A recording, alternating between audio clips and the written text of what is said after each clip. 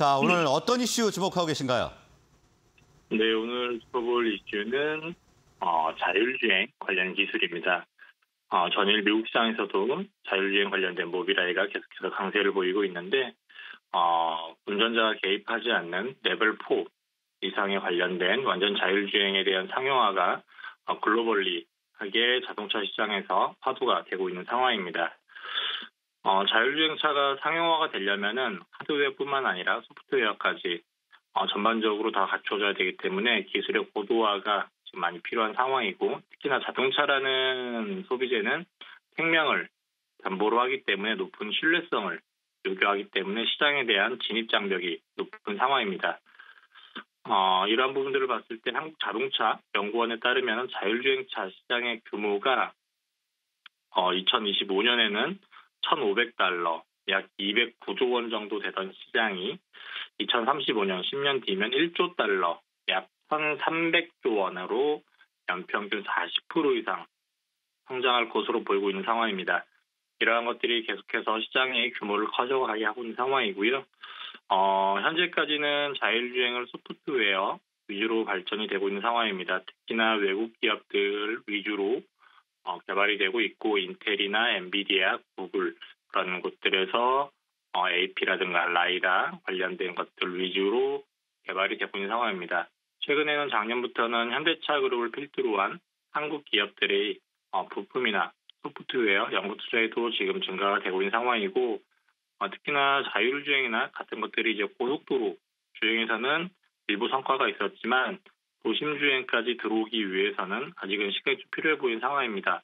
가장 큰 차이점은 고속도로와 달리 도심은 자동차 외에 사람이라든가 다양한 물체들이 있기 때문에 V2X 기술, 즉 객체 인식 센서 기술 같은 부분들이 통신과 융합을 해야 되기 때문에 차량을 제어하는 객체를 인식하는 카메라에 대한 기능이 더욱더 고도화될 것으로 보이고 있는 상황입니다.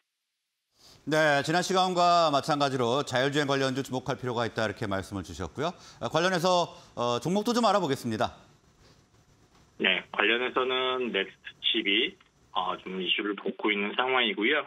어, 넥스트칩에서 담당하고 있는 센싱 카메라 ISP 관련해서 좀 수혜가 있을 것으로 보이고 있는 상황입니다.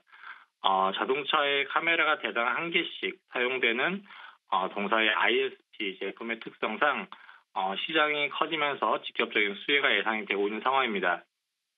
어, 전장 카메라, 어, 자동차에 탑재되는 카메라의 양이 22년에는 2억 1천 개 정도에서 2030년 정도 된다면 연평균 5억 6천억 개 정도로 연평균 약 12% 정도 성장이 될 것으로 예상이 되고 있습니다. 그만큼 ISP 칩에 대한 시장 규모 역시 어, Q 계속 개수가 필요로 하는 수요가 높아질 것으로 보이고 있고요. 이러한 것들이 계속해서 부각될 것으로 보이고 있습니다. 어, 또한 동사의 ADAS SOC 제품 아파치 4와 아파치 5 같은 경우에는 카메라 인식 오류를 해결하는 기술을 가지고 있기 때문에 이런 기술력들이 부각이 되고 있고 어, 내년부터 본격적으로 사용이 확대될 것으로 보이고 있습니다. 이러한 아파치 제품은 기존의 ISP나 그런 것들에 비해 단가가 최소 4배에서 5배까지 높기 때문에 어, 매출의 규모뿐만 아니라 마진율까지도 확보를 하면서 이러한 것들이 이익률에 크게 개선을 할 것으로 보이고 있고요.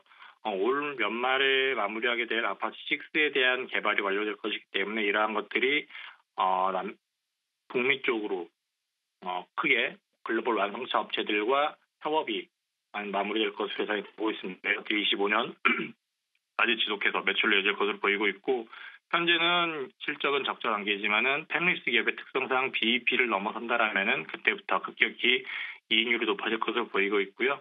BEP 같은 경우에는 매출액이 약 500억 원 정도로 파악이 되고 있습니다. 그 이상부터는 급격히 이익률이 높아질 수 있기 때문에 내년부터 실적 모멘텀도 한번 지켜봐야 되지 않을까 싶습니다.